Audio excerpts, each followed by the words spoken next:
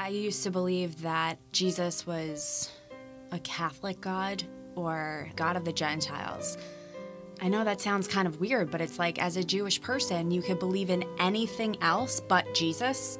The minute you say Jesus, it's like, shame on you. Here we go, another Jew for Jesus.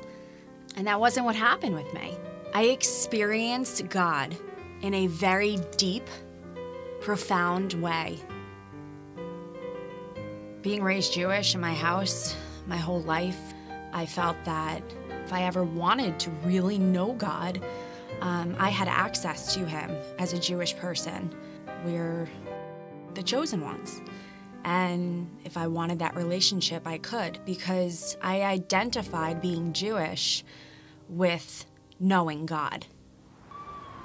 I'm 26 years old, living in Manhattan. I found myself in a very hard situation, just emotionally downward spiral where I lost my self esteem, was completely broken, like completely destroyed. And at the time, my best friend Jamie, she showed me more love than anyone um, during that time period, and she was sharing with me uh, her own faith walk, and she would talk to me about Jesus. And I was always like, James, I love you. I love you so much. you know, Jews don't believe in Jesus, and I'm never converting. I had a very supernatural dream. And I had a, a, death experience in my dream. So I died in my dream. There was this giant ball of fire that came out of the sky and spread like wildfire. And completely burned me alive, consumed me, and lifted me into heaven. I felt the layers of my life kind of lifting off of me like feathers, and I convulsed in my sleep. I remember shaking profusely, like just as if I was dying, as if I really was physically dying. And I was lifted into heaven beautiful, glorified, happy people that were kind of like rubbing oil on themselves and they were all crowned and they um, were very happy. Heaven stretched across the entire skyline and you could see mansions with just open ended archways with the most ornate, beautiful, majestic uh, details uh, like, like in a movie or a magazine. I could really feel the presence of a king.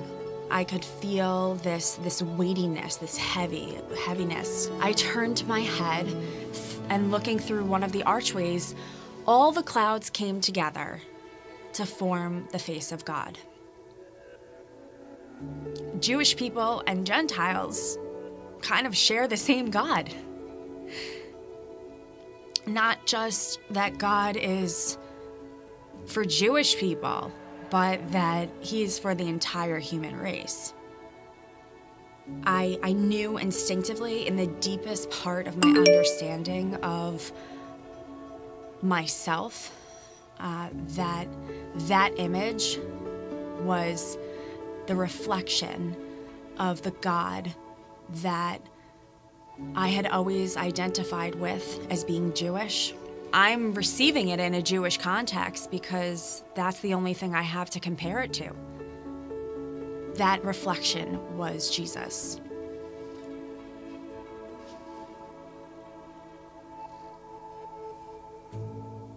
Suddenly, I'm faced with this reality that I had always believed to be true, which which is a lie that that Jews worship one God and Gentiles and the rest of the world worship this other God and it was just God himself revealing himself to me in the deepest most inner part of my heart. No words had to be spoken. It was it was just there. I know that sounds kind of weird, but it's like as a Jewish person, you could believe in anything else but Jesus the minute you say Jesus, it's like, shame on you. I felt very shameful uh, about my belief in Jesus, and yet I was really being touched in a way that I'd never been touched before. and it was kind of like dying to self. It was physically painful. I received so much healing and so much life within me. I'm, I'm not talking about things that make you happy or things that make me, you know, feel content and grateful. I'm talking about real, deep, hidden joy in the core of your being that when you go to sleep at night, you know wholeheartedly that you are exactly where you're supposed to be and that God has you. He's got your back. And that's how I feel.